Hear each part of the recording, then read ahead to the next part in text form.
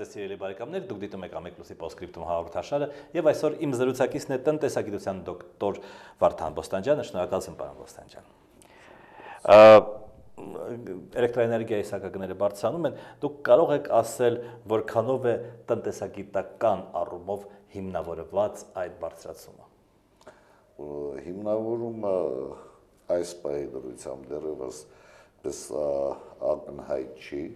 եւ բնականաբար այս երևույթը առաջացրել է պես դժգոհություն բնակչության շրջանում, ինչպես նաև բնակչության չէ, այո, նաև որոշ կառավարողների շրջանում, մասնավորապես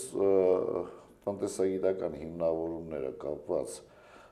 սակագնի բարձրացման հետ, պես թափանցիկ չեն եւ հիմնավոր չեն ներկայանում, որի պարագայում բնականաբար պետք է արձագանքը ռեակցիան այդպեսին լիներ, ինչպեսին այս պահին է։ Այսինքն հիմնավորումները չեն հնչել ըստ էության։ Ոչ։ Հա։ Իմ տպավորությամբ ընդհանրապես մենաշնոր ունեցողը չի կարող էֆեկտիվ սեփականատեր լինել եւ միշտ կփորձի հարստանալ սպառողի հաշվին, այո։ Դա շատ բնական process է եւ արդեն տնտեսագիտության տեսության եւ պրակտիկայում դա սորական բոլորի կողմից միջանական ոչ մասնագետների կողմից ընկալելի է, որ դա այդպես է։ Ուրեմն ցանկացած մենաշնոր դրսևորում ըստ էության բերում է տնտեսական զարգացման խոչընդոտների, խաթարումների եւ բնականաբար ընդհանրապես ազատ տնտեսական հարաբերությունների պայմաններում միշտ ուրեմն դա աքսիոմատիկ ձևով ասում են պետք է լինի ազատ արդար մրցակցություն, որը ցավոք Հայաստանի Հանրապետության պայմաններում մենք դեռևս չենք տեսնում։ Եվ բնականաբար, ուրեմն մենաշնորի արկայությունը ակնհայտորեն պետք է բերի սեփականատրերի ցանկության, իսկ այն է ուրեմն մաքսիմալ առավելագույն շահույթ ստանալու պես ցանկությունը սա պետք է որակել այդպիսի process-ներից մեկը։ Մունդը մասնավորապես ուրեմն էլ ցանցերը եւ գազը բնական մենաշնորհներ են, այստեղ ուրիշ կարգավորումներ են պետք։ Այլ ինչպես անել, որ նրանց ծախսերը թափանցիկ լինեն։ Գուցե նրանք չափից դուրս բարձր աշխատավարձ են գրում իրենց աշխատողներին կամ մի մալուխը 1000 դոլարով են առնում, այ ինչպես վերահսկել նրանց աշխատանքը։ Ընդհանրապես բնական մենաշնորհի սուբյեկտների գործնեության կարգավորման առումով ցանկացած իրավիճակում պետությունները ունեն մեն հատուկ պետական մարմիններ, մասնավորապես դրանք կոչվում են, ստացել են հանձնաժողովներ, հանրային ծառայություններ կարգավորող, ինչպես Հայաստանի Հանրապետությունում է անվանումը, որոնք ուրեմն առաջի հերթին ուրեմն հասարակության քաղաքացու, ընդհանրապես պետության շահերն են պաշտպանում, ոչ թե ստեղծողների, տեղափոխողների, առաքողների կամ իրացնողների։ Բնականաբար տվյալ պարագայում այս հանձնաժողովը հենց այն պետական կարևորագույն մարմինն է, որի առաքելությունը պարզապես հենց կայանում է դառնում, որպեսզի կարողանա ապահովել մաքսիմալ տապանցիկություն այդպիսի բնական մենաշնորհերի սուբյեկտների գործնեության ընթացքում եւ դա վերաբերում է ինչպես սակագներին, սակագները ի վերջո նրանք են սահմանում բնականաբար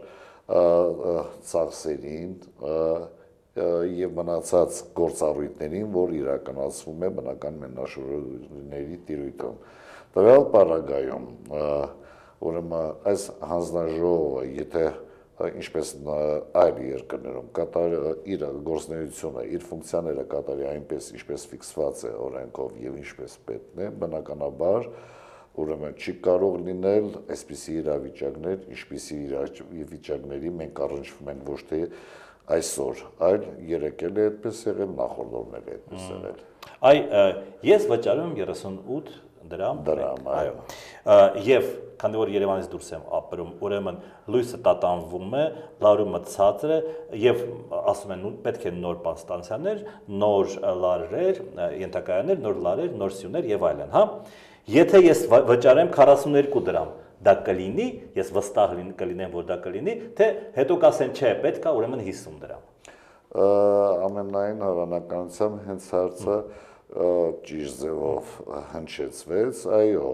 ոչ մի երաշխիք գոյություն չունի, որ որոշակի ներդրումներից հետո մենք կարող ենք հասնել այնպիսի իրավիճակի, երբ դրանից հետո ուրեմն կդադարի process-ը ի վնաս բնակչության հասարակության գնալու։ Այո, հասկանալի է, որ այս սիստեմները, համակարգերը ըստ էության տեխնիկական բարդ համակարգեր են եւ ծախսատար պահանջում են արդիականացման դրանց նորացման համար մեծ ծախսեր են պահանջում, բայց այդ ծախսերը միշտ եղել են։ Եվ բնականաբար դրանք ծածկվել են զանազան ճանապարհներով, մասնավորապես սակագնի մեջ սակագնով արտահայտված, ուրեմն ծախսերը մենք կարողացել ենք հաղթահարել։ Եվ բնականաբար տվյալ պահին անընդհատ հղում կատարել դրան, որ ես հասկանում եմ, որ հնարավոր է համակարգան նորոգման կարիք ունի այդ համակարգը, ունի արդիականացնելու կարիք ունի, բայց բոլոր դեպքերում ես չեմ ուզում, որ այդ երևույթները հանկարծակի հայտարարվի։ Թող մոնիտորինգը, մշտադիտարկումը ընդհանրապես միշտ լինի ամեն մի վարքյանի կտրվածքով, ամեն մի պահի կտրվածքով հասարակությունը սպառողը հասկանա ու իմանա, թե մենք ինչ վիճակում ենք գտնվում։ Արդյոք հին ոչ արդիական համակարգի ենք աշխատում, թե ոչ։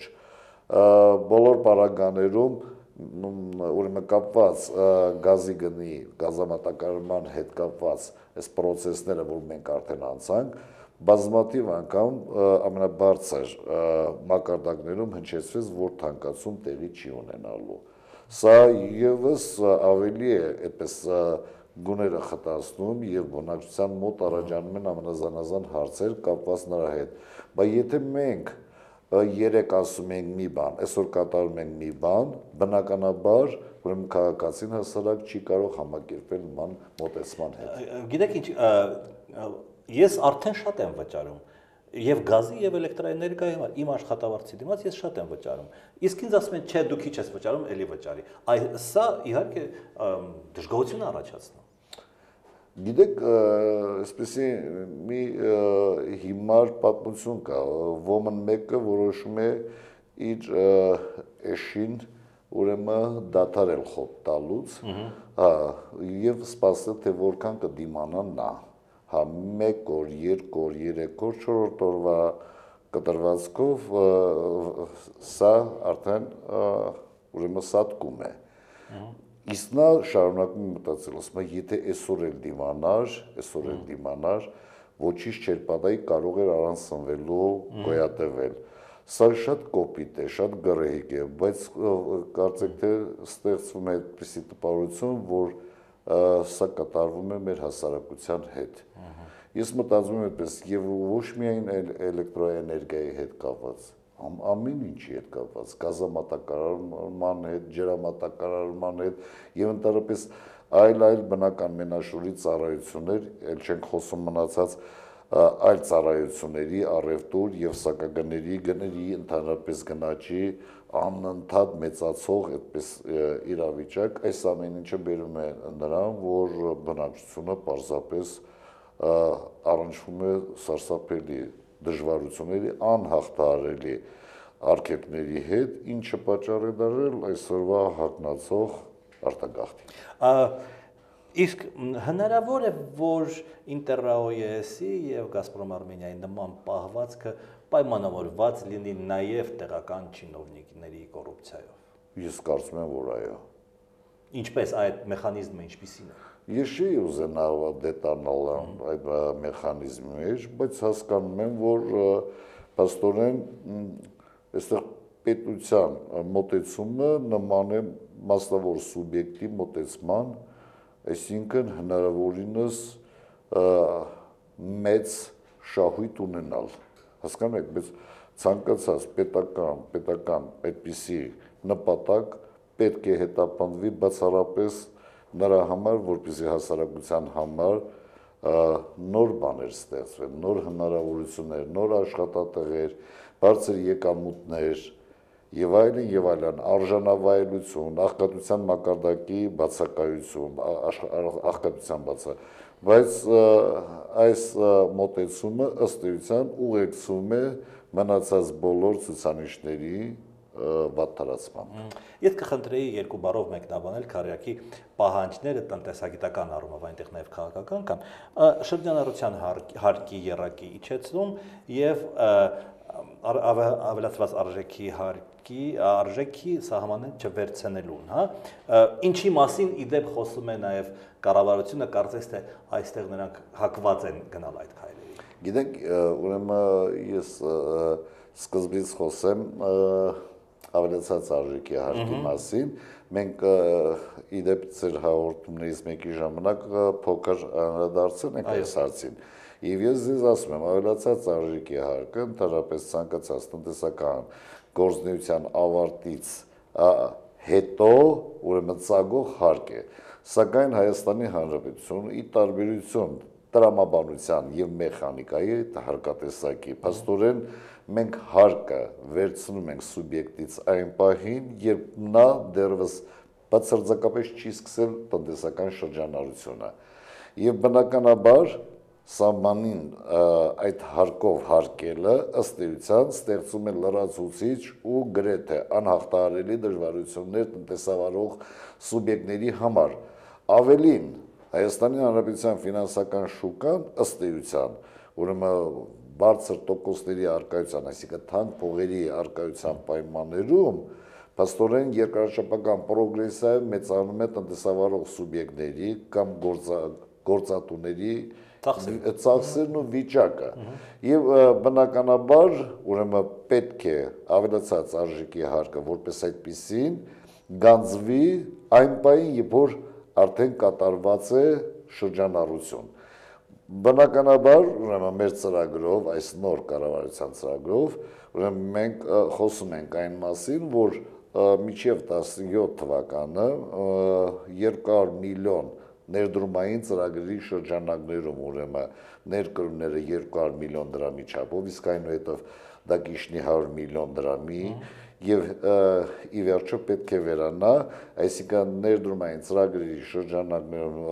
ներկրումները պետք է ուրեմն հարկով հարկվեն ավելացած արժեքի հարկով բացառապես այն պահից երբ ուրեմն process-ը շրջանառությունը սկսված պետք է լինի։ Տվյալ պարագայում դա ըստ էության մտածենք, որ գոյություն ունեցող իրավիճակից, ասենք, այսպես ասած, դեպի առաջընթաց է, ոչ շատ մեծ, այնալ ես ասում եմ, միայն ներդրումային ծրագրերի պարագայում։ Բայց գոնե դա արդեն ինչ որտեղ սուբյեկտների համար տնտեսավարող կարելի է որակել որպես դա։ Իսկ շրջանառության հարկը որպես այդպեսին, որպես կանոն փոքր եւ միջին բիզնեսի այդպես սուբյեկտները ըստ էության ճնշող մեծամասնությամբ իրենք զբաղվում են գործնեությամբ, որը հետապնդում է սոցիալական, այսինքն նրանք ըստ էության իրենց գլուխն են պահում։ Այո, սոցիալական խնդիրներ են լուծում, Պաստորեն նրանք դեռևս ձևավորված չեն որպես իսկական հարկատուներ տվյալ երկրի համար եւ հիմա նրանց խեղտել դնել մեծ ճնշումների տակ բնականաբար վատագույն դեպքում նրանք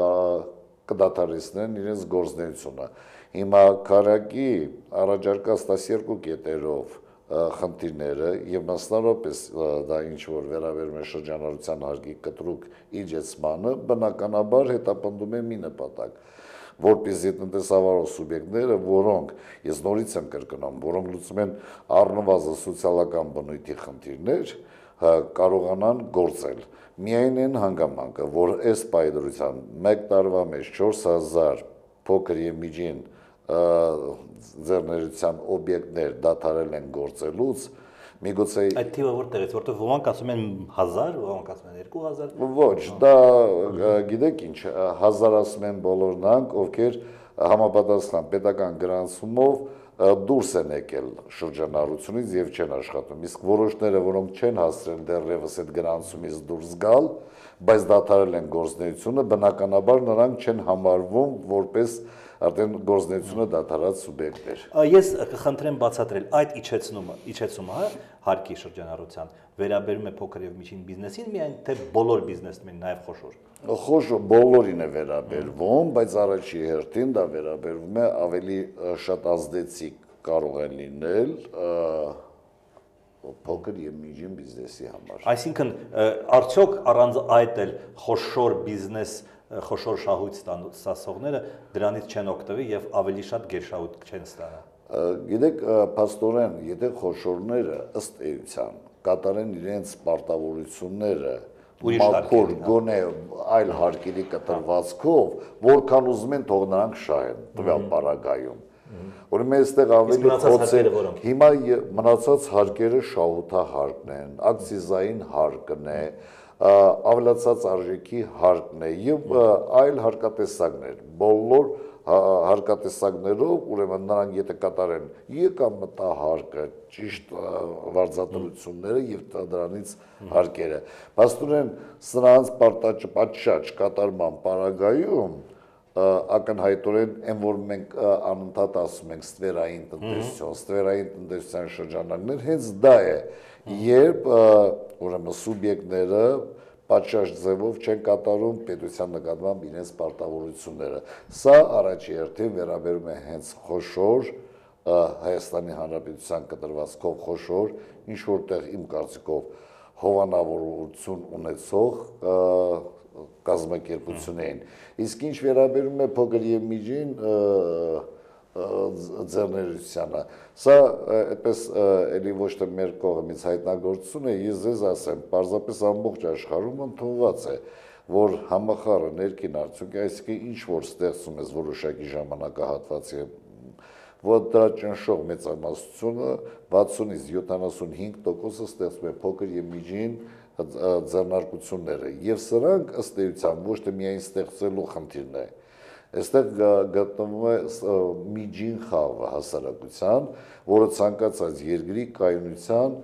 հիմքն է։ Ուրեմն դրանց բացակայությունը բերում է նաև կայունության բացակայության, ինչը շատ խոցելի խնդիր է Հայաստանի Հանրապետության համար։ Քանի որ հարկերի մասին խոսեցինք, ես ուզում եմ ձեր կարծիքը իմանալ նաև շքեղության հարկի մասին, որովհետև այստեղ հակասական կարծիքներ կան եւ ասվում է, որ շքեղության հարկը հանելով մենք առանձնապես չենք դժում եւ այդ հարկը փոխանցվելու է տեղական բյուջեների։ Ես խնդրում եմ ձեր տեսակետը։ Գիտեք, շրջագործության հարգը որպես այդպեսին Հայաստանի Հանրապետությունում դա շատ մասնակի բնույթ էր կրում, ընդհանրապես իսկապես իր մեջ չէր ներառում շքեղություն ենթադրող ու շքեղություն պատկերացնող ամբողջ տիրույթը, որ այս հարկը ձևավորվեր դրա հետ պայմանավորված։ Ուրեմն այն մասնակի բնույթ կրելու պարագայում բնականաբար չէր կարող տալ այն օգուտը, որտեղ հարկը ոչ թե միայն ինստիտուտ է, որը ենթադրում է մուտքեր, եկամուտներ պետական բյուջե, այլ հարկերը ունեն նաև կարգավորիչ դեր։ Կարգավորիչ դերը կայանում են անում, որպեսզի այս պայն Հայաստանի Հանրապետությունում ձևավորված ու գոյություն ունեցող բևեռացումը ուրեմն աղքատների մի մեծ բանակ եւ մեծ հնարավորություններ ունեցողի մի ավելի փոքր նեղ բանակ։ Այս բևեռացման, վերացման նպատակ է հետապնդում հարկային քաղաքականությունը։ Տվյալ պարագայում ուրեմն Հայաստանի Հանրապետությունում այն որպես այդպեսին իմ կարծիքով գոյություն չունի։ Հակա մեջ մենաշնորային փաթեթ նույնպես այդ 12 բաներում կա։ Դուք ռեալ եք համարում, որ դա հնարավոր է 2 ամսում մշակել։ Ոչ Ոչ, դա հնարավոր չի երկամսում, բայց բոլոր դեպքերում հնարավոր է մուտք գործել այս դաշտ։ Ընդհանրապես մրցակցության պաշտպանության ինստիտուտ եւ հակամենաշնորհային քաղաքականության իրականացում բոլոր պարագաներում դե բնականաբար երկու ամսում հնարավոր չի այսպիսի իներցիոն process կարգավորել, բայց բոլոր դեպքերում մուտքը այդ տիրույթ անմիջապես տնտեսությունը կզգա իր վրա։ Ես խնդրում եմ այ 2-3 բառով ճանապարհային քարտեզ այդ մուտքի։ Ինչն է պետք, այսինքն հանձնաժողովը Շամբոյանի փոխվի, թե ինչ պիտի անի։ Ոչ, այստեղ հանձնաժողովը ըստ էության ոչ մի այդպես էական դեր չի կարող ունենալ։ Ուրեմն փաստորեն ոչ միայն ասենք մենաշնորային կամ մրցակցության պաշտպանության խնդիրներ, Պարզապես պետք է ի վերջո մենք հասկանանք, որ